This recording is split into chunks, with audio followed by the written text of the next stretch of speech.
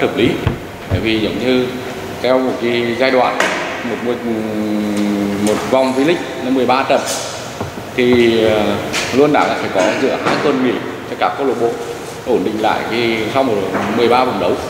và sau đó tiếp tục. Nhưng mà đây là đấu luôn 3 ngày ừ, lại quay trở lại tiếp tục. Cho nên tôi nghĩ là cái thời gian cầu thủ đá lên có thời gian giữa quãng để nghỉ ngơi nó xả hơi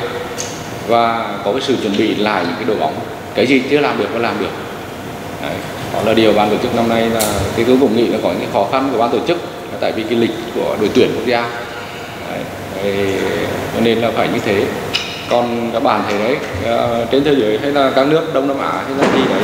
thì mua world cup thường thường người ta dừng lại các cái hoạt động để, để các cái họ là phải tập trung đội tuyển quốc gia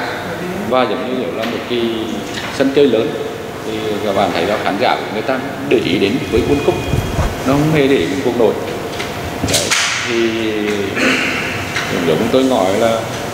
đúng ra là phải nên nghỉ thời gian đấy để cầu thủ hay là mọi người được tận hưởng cái không khí cái bầu không khí đấy. đấy, nó đánh đi cái nham chán của bóng đá, giữa so sánh hai cái nền bóng đá đấy. nên là mà tôi nghĩ như là tôi nói đấy, là khó khăn của ban tổ chức cái lịch thi đấu. Cho nên đúng là tôi nghĩ phải đó là điều bất hợp lý.